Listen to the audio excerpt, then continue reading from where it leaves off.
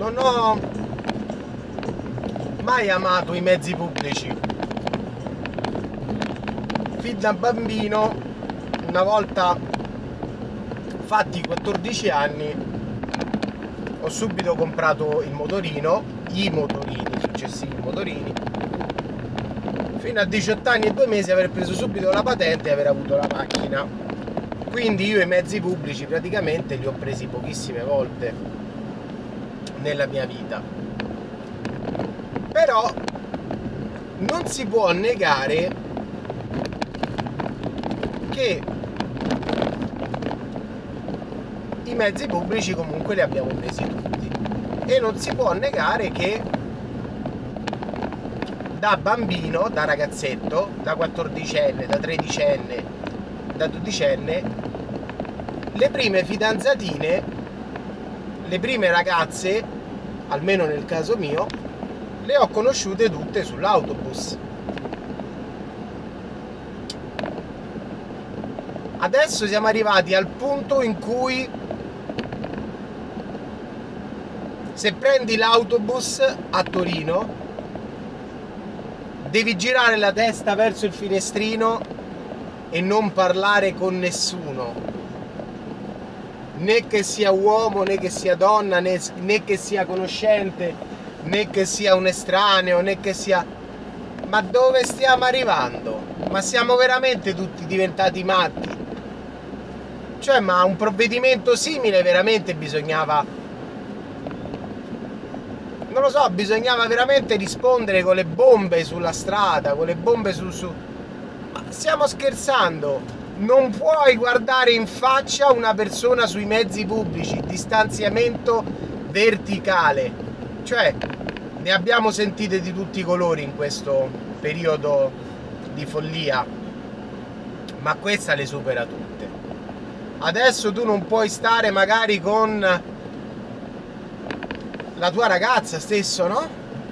Hai la tua ragazza sul mezzo e non la puoi guardare in faccia, devi girarti dall'altra parte. Ma qui stiamo proprio finendo alla follia più totale, guardate ragazzi. Io boh, non, non riesco a capire. Prima avevano in mente di distruggere la classe sociale medio-alta, quindi come ad esempio mi raccontavano che adesso in Sardegna se non ti fai fare il certificato di sanificazione della barca su cui vuoi invitare delle persone estranee alla tua famiglia, non puoi portare nessuno pena delle multe salatissime.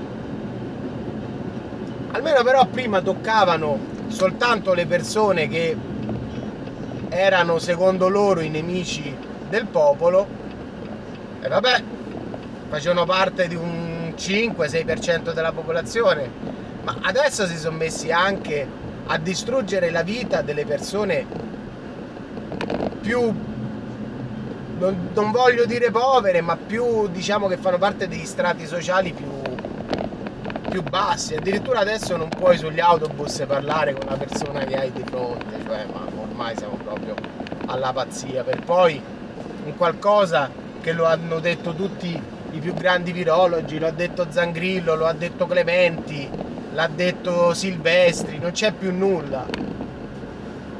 Questo è un modo per separare la popolazione, per dividerla, per non farla aggregare, per non farla parlare, per non farla mettere d'accordo, per creare quello che loro vogliono praticamente adesso stanno distruggendo tutto il tessuto sociale perché come dicevo anche in un altro video già ormai con questa paura che hanno tantissime persone dell'influenza covid nessuno conosce più nessuno si fidanza più nessuno nessuno ha più rapporti interpersonali con estranei. Adesso ancora di più, adesso proprio dividi tutti proprio, addirittura non puoi neanche scambiare due parole sull'autobus con un'altra persona. No ragazzi, vi prego, guarda.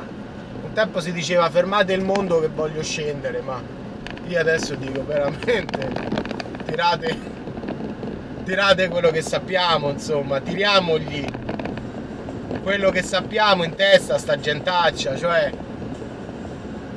Ma sul serio stiamo parlando.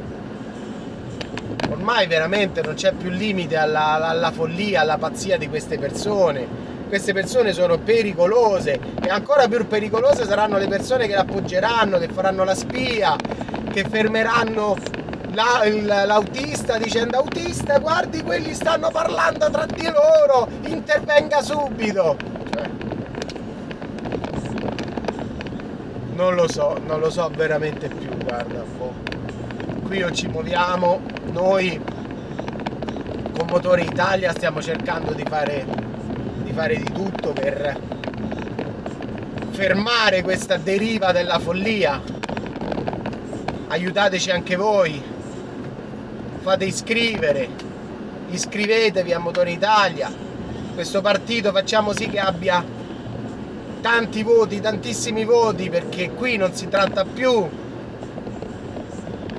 della tassa sul suolo pubblico, della tassa sulle bibite cassate, qua si parla proprio della morte del, dei rapporti tra persone, della morte dei rapporti tra, tra individui, cioè una cosa veramente allucinante.